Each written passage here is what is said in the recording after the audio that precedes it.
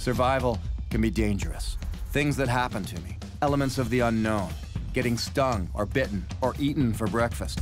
These are the outside forces that affect whether I live or die. Up here, there's a saying stop thinking, and you'll stop trying. Stop trying, and you'll die.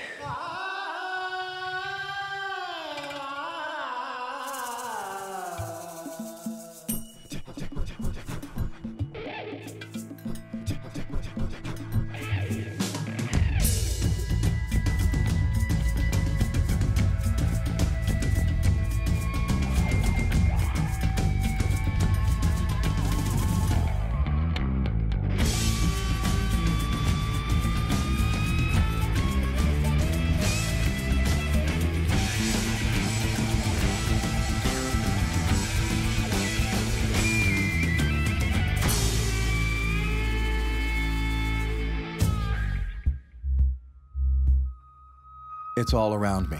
Everywhere I step, sit, eat, sleep. Sometimes it doesn't even know I'm there, but it still affects me. Danger. It comes in many forms, none of which are benign, and all of which threaten my very existence. These are my top five dangers of survival. Things I have to survive through if I expect to stay alive. I can't think anymore. Need some food. My fears. That which stops me cold. Has me sitting up all night just watching and waiting. And my frustrations. Little annoyances that get in the way of my survival. And everything in between. But before we hit the top five, let's look at a few unique dangers I've had to deal with over the years. And the secrets of survival that have gotten me through them. It's starting to feel like a bad idea. Oh, God. Oh, God. I gotta say, probably the creepiest moments of survival revolve around when I have to shove my hand in some deep, dark hole, trying to get some food or catch some food or pick some plants, not knowing what's in that hole. Here in the Amazon jungle, I watched an old lady go underneath the water and reach into these mud holes to catch catfish. I remember thinking, sure, I can do that. But once I was out here, alone, the prospect of shoving my hands deep inside little holes on the side of an Amazon river caused more trepidation than I care to share. Whenever there is an unknown, you have automatic danger. Ooh, what the heck is that? Ooh, there's some big holes in the side there, and I better be careful because could easily be snakes in those holes. This shot inside the wasp nest was a complete surprise to me. I didn't even see the footage until I got back into the editing suite a few months later. I simply jumped quick when I noticed a couple of wasps come by. That gave me a fright. Maybe a stupid move on my part, eh? Some deep holes in this cliffside, and uh, in my situation, probably not smart to uh, try poking in them. I think I just woke up a hornet's nest in the other hole. All right. I've walked this far upstream because there's a feeder stream just over there that's hopefully dropping food into the water for fish in this area. Now, what I'm going to do is I'm going to go to the backwash areas and I'm going to be shoving my hand in underneath and into the holes trying to catch the catfish that might be in there. Now, the dangers are many. First of all, there's getting the wrong kind of catfish, spiny catfish. If I grab one of those by accident, extremely painful. Secondly, the electric eel. They like to live in the same place that catfish do, so that can be very painful. And lastly is the freshwater stingray. The Waorani fear it equally to any snake in the jungle. Its sting is so painful and powerful, and it instantly infects. This is what I like to do shove my hand in my arm way deep inside a muddy, murky hole in an overhang in a, an Amazon jungle river. This is just what I like to do. My secret is to keep reminding myself that other people do this for survival. I can do it too. And there is a reward of dinner if I'm lucky.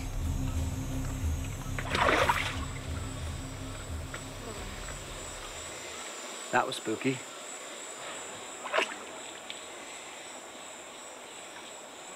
Hmm, I don't know if I want to keep doing this.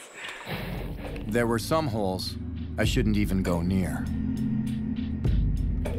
big hole. You have to be very careful passing by these holes because the leopards actually crawl down into them. And uh, if you walk right by the front, a leopard can jump out and attack. So they're always very cautious going by these big holes. I never expected that violent human reaction to my presence was anything I would ever have to deal with. Yet I found myself in the jungle, worrying about exactly that.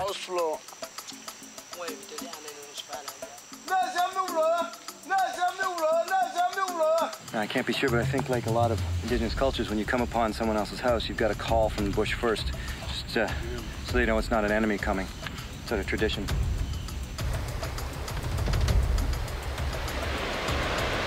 Now you can see over here, there's a farm over there. It's an active farm too, so there might be vegetables there that I can, well, steal.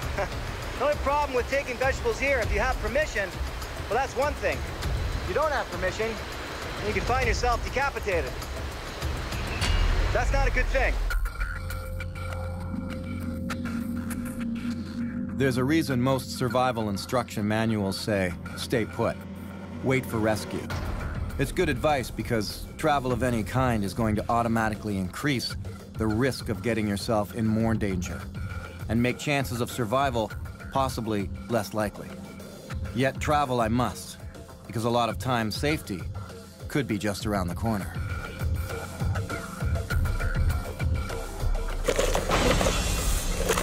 Ah! It's that thing where you walk through the bush nine times out of ten, you're holding the branch for the person. Tenth time, you don't do it, you forget, they aren't watching, whack right in the eyes. Yeah. Not a big deal. Well, it's always a big deal. A little different when you're at your cottage, but when you're out trying to survive, it's everything. One of the biggest problems I've had going through this forest, Ow. it's all because of this fella right here. It's called Devil's Club, and it is just covered with thorns. Stuff gets into your skin and it just hurts very much. Sure enough, if I keep moving, I'll come upon terrain I have to deal with that's dangerous. And the difficulty increases due to the fact that I'm completely alone. If I fall or get stuck somewhere, no one is going to help me get out. I could be on a five square mile piece of ice that, that cracks over by the shore. There could be 100 feet of water between me and the shore, and I wouldn't even know it. Lots of cracks and crevices. I could literally fall into the ocean here. I gotta be, better be careful.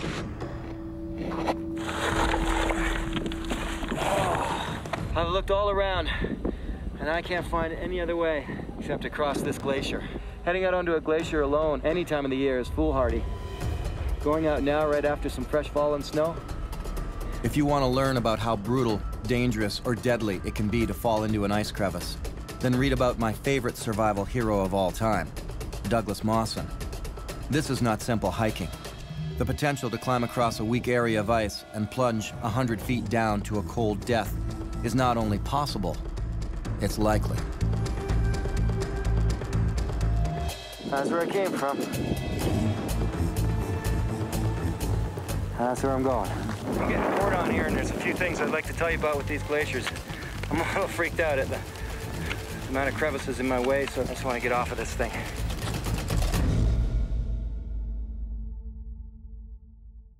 Oh, sometimes I wonder what I get myself into.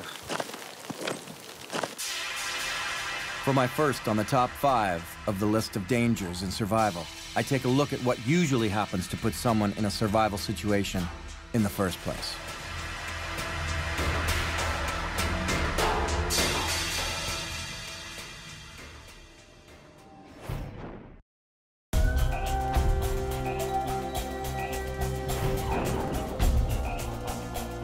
There are roads through mountains, there are people willing to take the chance to try to push on through to their destination.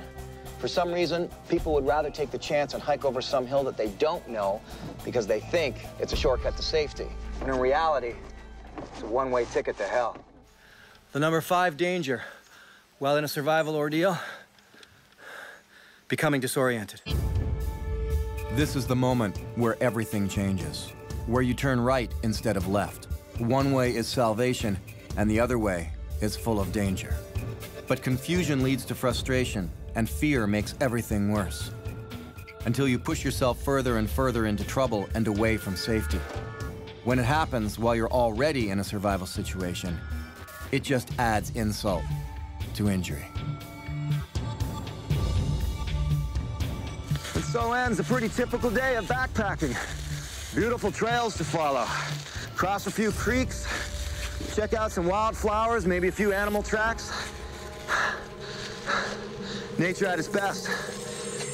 What could go wrong? This is the worst part. And you think you should be there. You should have been around that next corner, over that bend, and you start to panic. And unfortunately, when you panic, you start moving faster.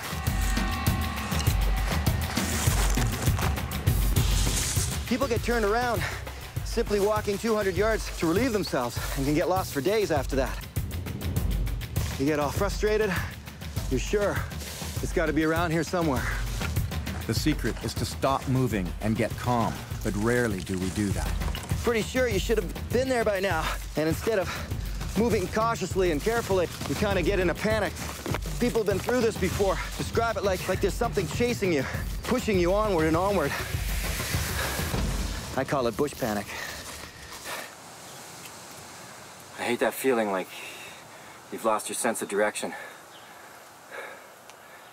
Holy mackerel. This just keeps getting, it's like the forest is closing in on me here. I'm just gonna simulate what actually happens. Okay, guys, you're on your own. There isn't a dog sledder out there who hasn't found himself lost without the dogs. That's got to be one of the most uncomfortable feelings you can have in life, is to be disoriented and not know which way you should be turning. Okay, well, now I got a decision to make. Do you follow them? Or do you keep going east because you think there's a highway over there? You could go up the railway tracks and be right around the corner from, you know, an establishment. On the other hand, you could be 250, 300 kilometers from the next junction. And, and, and maybe the, the, the place that's close is, is that way and you go that way. Train tracks, trails and roads, even power lines. They're all a good start. But without knowing for sure which way to go, following them could lead me to hours or even days of more trouble than I want. And instead of hastening my rescue, moving in the wrong direction can simply prolong my survival ordeal. It doesn't happen that often, but every once in a while, I break my own rules. It happens because I become overconfident, a little too cocky. Like in Norway, when I was going down the hill, I was sure that I'd find shelter. But I was wrong. And I allowed myself to be soaking wet right through to the skin, both with sweat and freezing rain. It was one of the most dangerous survival situations I've ever been faced with. Trying to see my way down, but snow's getting in my eyes. It's starting to feel like a bad idea. The trouble started when my own survival arrogance caused me to figure the hike down would be no big deal. Damn. It's probably already starting to get dark on me. I gotta get to the bottom before it does. As long as I don't come up against a cliff, I'll be okay. Kind of like what's happening to me right now. I can't go back. Ah,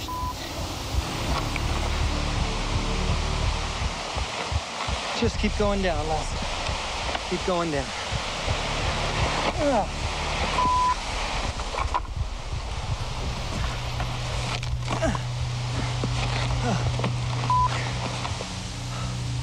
Oh, God.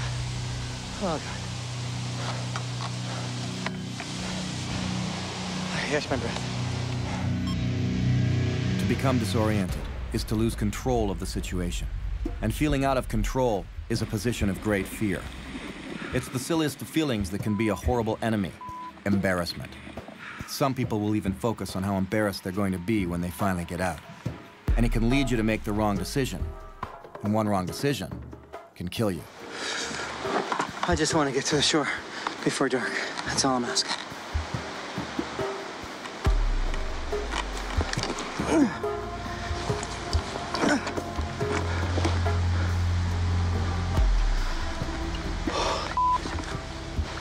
I looked at this hike down the hill as no big deal and ended up putting myself in one of my most dangerous situations ever. I got what I wished for. I'm at the bottom. There's the ocean. It's raining. And no shelter. I'm soaked.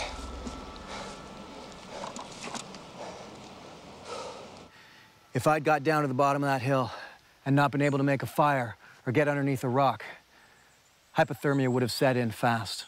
And hypothermia is a killer.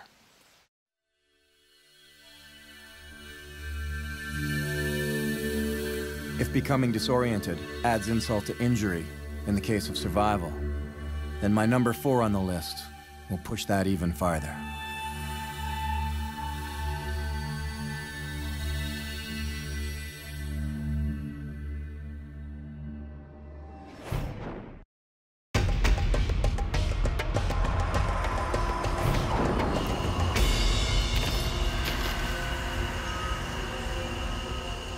Damn. Just sliced my finger open. Okay, that was just plain stupid. The number four danger in a survival situation getting injured. Speed kills. Trying to affect survival impatiently will almost always lead to some kind of accident. And out here, getting injured stacks the odds of survival against you. It takes an almost manageable set of circumstances and turns them into a horrible ordeal. No one wants to be injured. No one plans to be injured. Yet it's the one thing that is always on my mind, no matter what I'm doing to survive. And when it happens, it changes everything. I hit the bone with the knife. I could feel kunk like that. that. Just that feeling of going in deep. It stopped bleeding. I just kept it pressed for a while. Infection in the jungle is one of the most insidious circumstances to deal with. It can just leave you in agony. You know, if you fantasize about being in a survival situation and how you'd make it through, well, try doing that and think about having a broken leg or a broken arm. So we always see ourselves as super fit and strong and fighting against the elements and persevering. We never think about the fact that we could have something as simple as a migraine headache, a bad stomach ache, or a sore back that could slow us down or even stop us and make it hard to survive. Anything like that turns a real bad situation into a horrible situation. There's two things knock you down really quickly. Shot feet and a rot gut. And right now, I've got both. The old saying is, an army marches on its stomach, and it's true. And here in Mexico, all my progress towards surviving was stopped cold by simply eating the wrong oyster. Uh, I'm just trying not to throw up right now.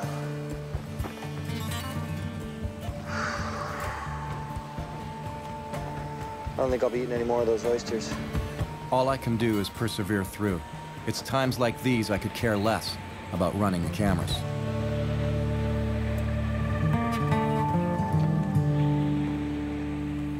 On one occasion, I wanted to experience what it would be like to be debilitated and left without the use of a limb.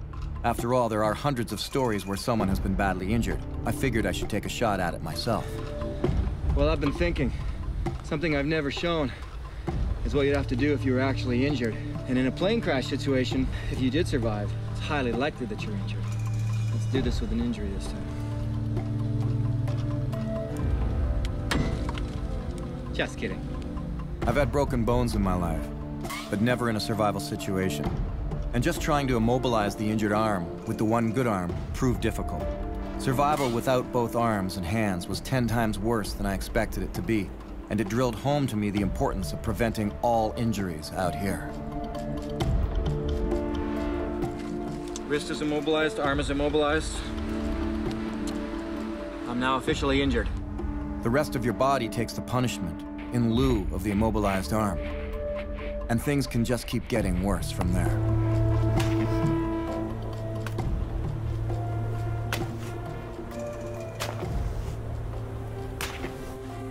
Now, I do have one serious problem. The possibility of heat stroke. I'm feeling extremely hot. I'm still sweating. That's a good sign.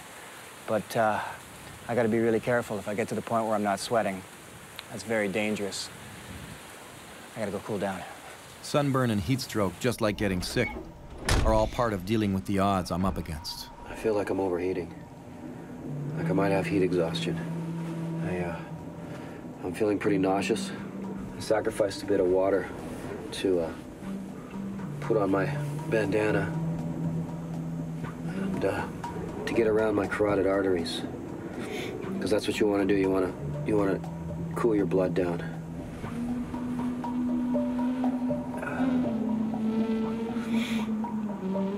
I stopped taking the temperature out there today at when it hit 60 degrees Celsius in the sun.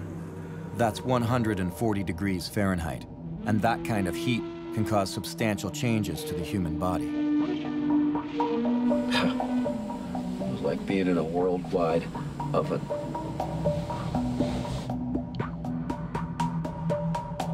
Next on my top five list is something very difficult to present on camera. Yet it is by far one of my greatest dangers to deal with.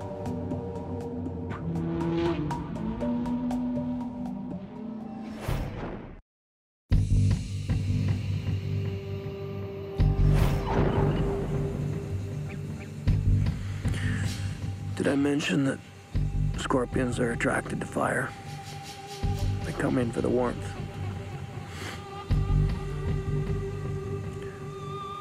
I hate thinking about stuff like that when I'm trying to sleep. And number three, danger. Sleep deprivation. The one thing that no one ever talks about in a survival situation is sleep deprivation. Yet it's been my constant nemesis throughout the years. It gets me to a place where I can't even think straight anymore and I end up sleeping during the day when I should be doing things to help myself. Now, in a survival ordeal, sleep deprivation is a silent killer. Over the years, I've learned how to recognize and deal with it. But here in Northern Ontario, on my very first Survivorman, I'd also get my very first taste of what it means to go without sleep.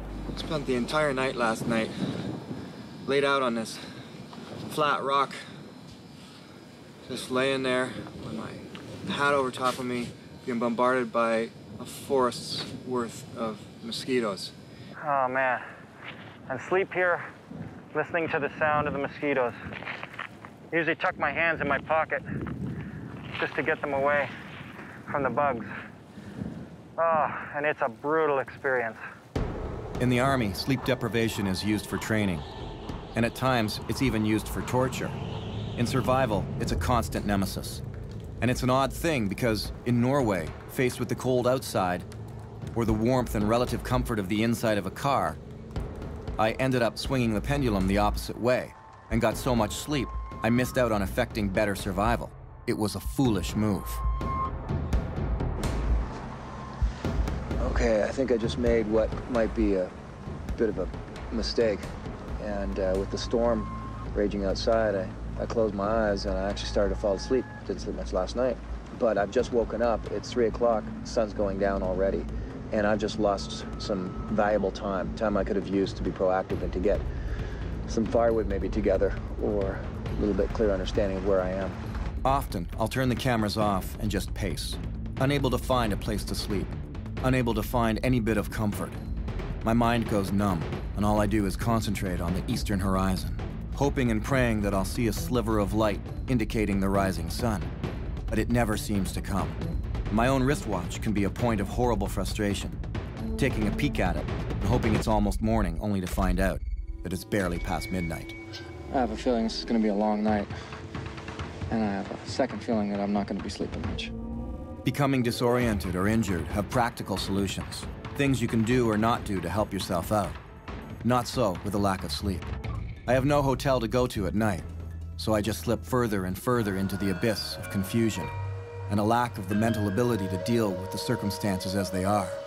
Throw in the fact that I'm supposed to be filming it all as it happens, and you begin to understand what I have to go through. Set me up a special place inside here for uh, sleeping tonight. A place honor, actually. They give me the most comfortable place in the boat.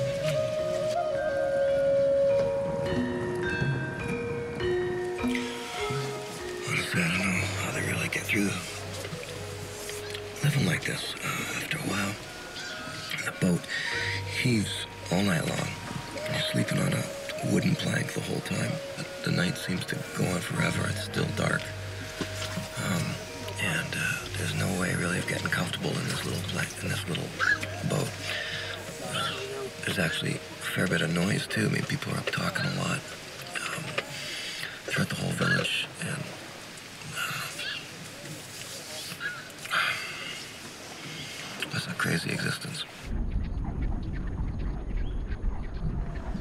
Sleep deprivation takes pragmatic and practical survival and turns it into some kind of surreal experience. A dream, but I'm awake. My number two danger is as real as it gets. Okay. I am listening to something very large. Growl and moan and groan. Not too far from here.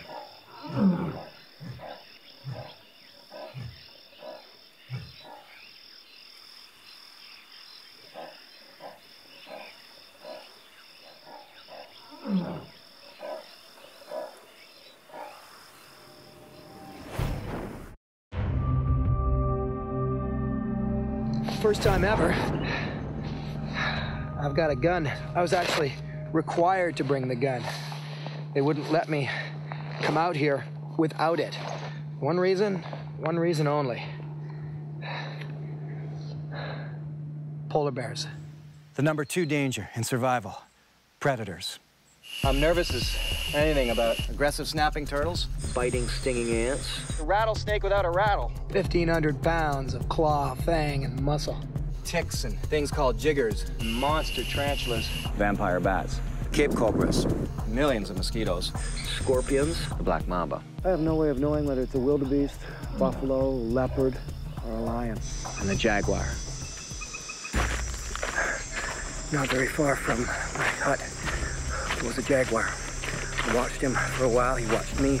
I yelled. I uh, used my whistle. And uh, fortunately, he didn't even flinch. I've done my time in grizzly territory. But there's just something about a big cat who's interested in you that uh, makes me nervous.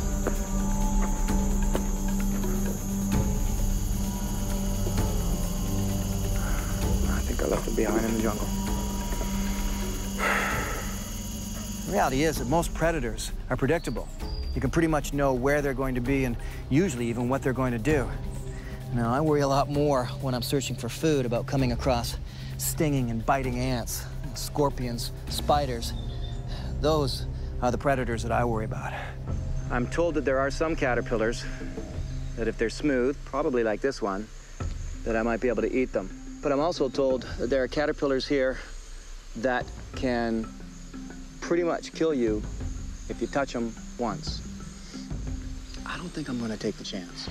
I can't get too close to that camera because uh, that's a big wasp who's decided he likes it. I don't feel like getting stung on the first day out here.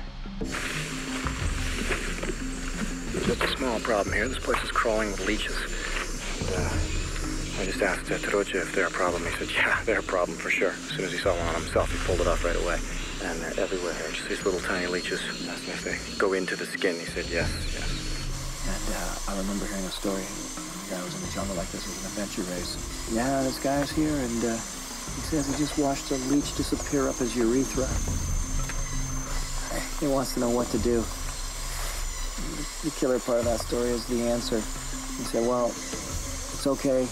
It'll engorge itself with blood, and then it'll leave. you just have to wait. I'm doing my pants up tight tonight. Fortunately for me, I don't have arachnophobia, the fear of spiders, because in their world, they are indeed master predators. And when our worlds collide in a survival situation, one bite, and they win. The secret of dealing with these potent little killers is identification. Once I know it's not poisonous, I relax.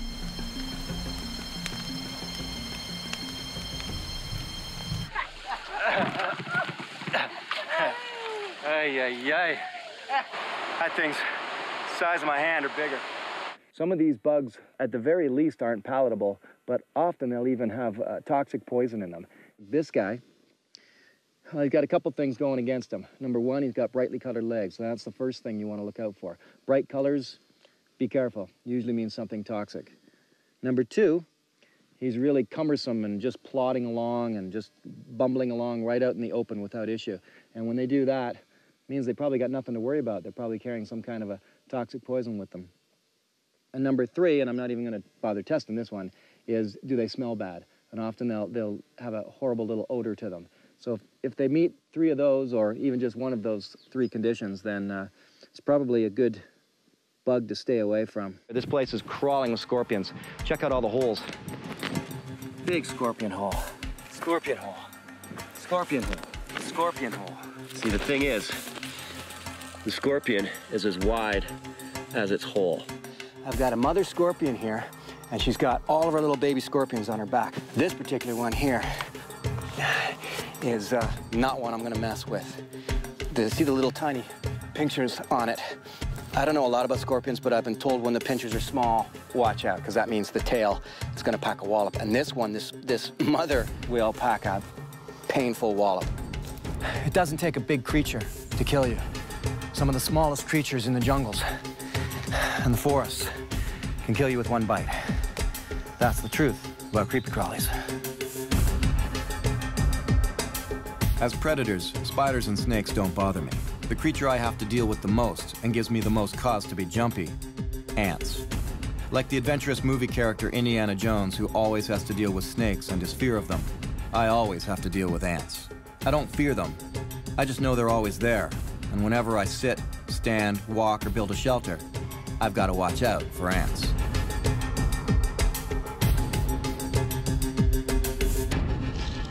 I've chopped him in half and he's still trying hard to bite me.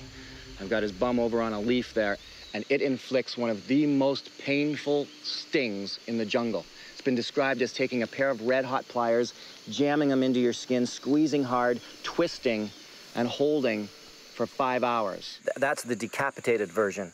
He has no head, and as I touched him with the stick, you can see that he was sti- it's still trying to sting, even though it's been decapitated. These guys are mean. When you don't have a phobia, you can't understand other people that do. You can't relate. Now, don't get me wrong, I have a healthy respect for large or small poisonous snakes. I just don't shiver at the sight of them. When I was young, I could even inflict revenge on school field trips when I learned that the class bully was afraid of snakes. Of course, the fear is not without good reason. Okay, buddy. This is a full-on spitting cobra. This is a nasty, nasty snake. These guys are responsible for a lot of bites in this area. Oh, oh, oh, he just bit the stick. On this planet, this is a snake to fear. He can shoot his venom nearly 20 feet. Uh, I'm within four and a half feet of him right now. But this guy, when riled, he can be one mean, mean dance partner. It's been said that to deal with a black bear, it's best to intimidate it, scare it off, make noise, make yourself look big. And for grizzly bears, do the opposite. Never challenge it. Even play dead if you're trapped. But I never worry about grizzly or black bears. A polar bear is another story altogether. I'm in probably the thickest polar bear area around here, and I'm sitting here with a big hunk of raw seal meat.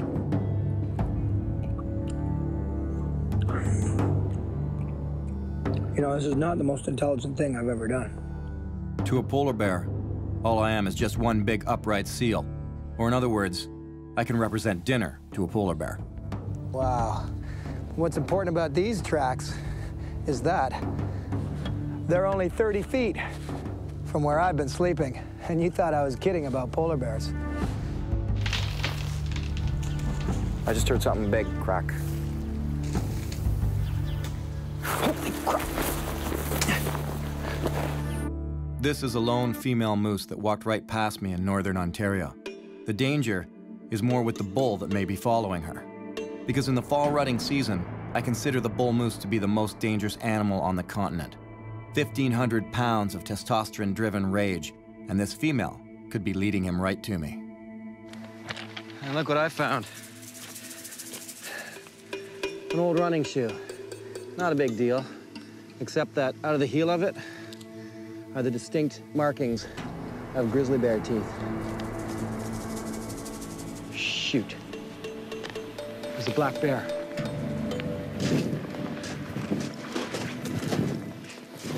Have no idea if he... He's got to know I'm here. The old cliche holds true. He's more afraid of me than I am of him. All I have to do is remain calm. So there's no need to panic, no need to fear bear at all. Really, it's just a matter of be cautious, give them their space, hold your ground. And most likely, they'll just take off. My number one, and therefore my greatest survival danger to deal with, is not as sexy as the concept of predators, but it is the most likely to cause my death if I don't respect it.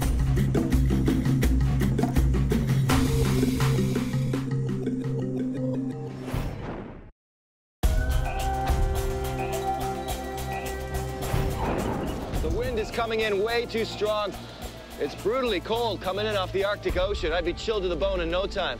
The number one danger in survival succumbing to the elements. Going without sleep for days on end. Becoming lost and disoriented when I already have to survive out here. Avoiding deadly predators and getting injured all take a back seat when it comes to dealing with the weather. I always say in survival, I'm either dealing with bad weather or preparing for it. One thing is for sure there's no escaping the forces of wind, cold, heat, or rain. Nature, in the end, rules the day. And if I don't respect it, the natural forces meant to keep the planet alive will likely be the same forces that cause my own death. This tropical sun is a killer. Just moving around in it at all, wiping me right out. I have to stop pretty often just to rest in the shade. It gets really hot here during the day. Hot enough to dehydrate you quickly. But at night, still gets below freezing. Wind is an unseen danger, but it can shut me down faster than anything else. Uh, the wind is just, as you can see, picked up intensely. I mean, it's even blowing seaweed across the beach now. Wind like this works in a convection sense. It just sucks the moisture right out of your body. As it is, I can feel some of the symptoms of dehydration now. I certainly haven't urinated in an awfully long time. Hot wind, cold wind, either way it affects my body heavily. By either pulling moisture out of me or chilling me down to the point of becoming hypothermic. And hypothermia is quite possibly the danger I fear the most, because it can creep up on me. And before I know it, I'm in the latter stages. And it's a slippery slope from there to dying from exposure to the cold. I guess the bright side is that it's supposed to be a gentle way to die. You eventually fall asleep. Forever. Got terribly cold last night. The wind stopped, the sky opened up, and that meant bitter cold temperatures. The, uh, the sky cleared out, and uh, we're left with a beautiful blue sky day, but as soon as you see those stars come out at night and you're wondering whether or not it's going to be warm or cold, it's going to be cold. This is the weather that kills. Hypothermia at this time of year. It's The most dangerous thing you have to deal with. Fear of becoming hypothermic leads me to get active and to build shelters for protection. And all of this work depletes my energy, making me even more susceptible to the cold. It's a vicious cycle, and out here, I can't afford to let myself get in a panicked state when I have a danger looming over me, like death from exposure. It's one thing to get sweaty out in the winter wilderness. You know you're going home to a warm bed and a hot shower. It's quite something else when you don't know where you're going to end up. It's so vitally important that I don't let myself sweat now. You sweat, you die. You sweat, you die. It's real easy to get hot and sweaty doing this. That's a problem. Because if you sweat, you die. Now, that's not a phrase that I throw out there lightly. Exposure to the elements is the one thing I spend most of my time preparing for, guarding against, and dealing with. When the weather's good, it's great. When the weather's bad, it turns a survival situation into a life or death ordeal. Stuck in a life raft for four days off the coast of Belize, all was well until the weather came in on me. In a few hours, my calm and flat ocean, where I was worried most about being scorched by the sun, was about to become a frothing, dark, and wild sea. Sitting here in calm water, no wind, waiting for a big storm to come down on you, watching it come down the way.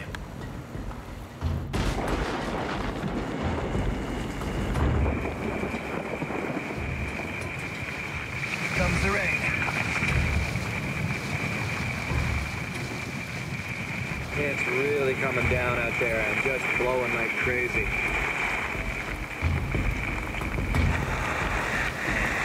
This is pretty intense.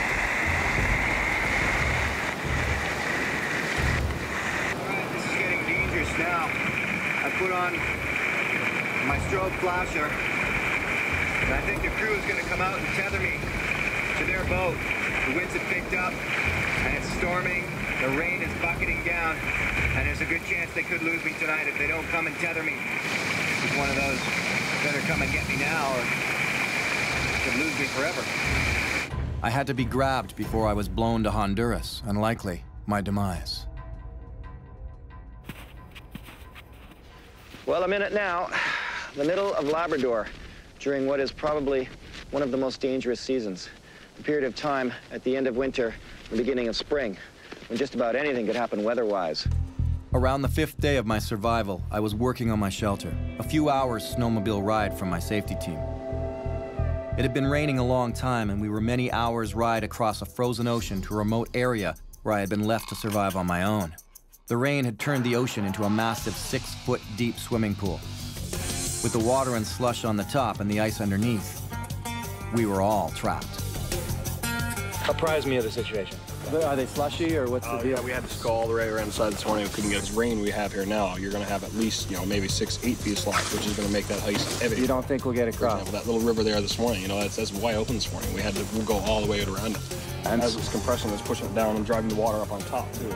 I was, in fact, doing fine, prepared to stick it through to the end of my seven day ordeal. But many miles away, the crew was in a precarious situation, and they had to be rescued, not me. Let me say that again in case you missed it. They had to be rescued, not me. Oh, here he comes. Can't believe we all have to be choppered out of here, but that's the nature of shooting a Survivorman show. We take our chances. We're way out in the middle of Labrador here, and what's happened is the ocean and all the rain, all the waters come up, and it's just slush between here and a four and a half hour drive on snow machine back to safety, back to town. We can't make it. We can't get back. We're stuck out here. We a helicopter, everybody, all the machines, everything out of here. And that's why they had to come and get me, too. I was fine making my shelter miles away, but the crew had a lot at stake, and this went down in history as the only time I was forced to submit to a rescue and halt a Survivorman mission short. And it wasn't because of a lion attack, or a snake bite, or sickness. It was simply weather, the most powerful natural force on the planet. So that's it. Well, I may have survived Labrador. And my safety crew, they were doing all right. But the weather here has decided differently for us. It effectively stranded me from my safety crew and my safety crew from civilization. By its very nature, a survival situation is a dangerous place to be. And danger is something to be avoided. Survival is not an adventure sport. It's a real life and death struggle, and never to be taken lightly. All steps that can be taken to avoid and keep yourself out of danger while faced with having to survive must be taken. Survival is about staying out of danger, not flirting with it. Let me say this again. Survival itself is dangerous. Knowing how to avoid any new dangers is indeed the secret to survival.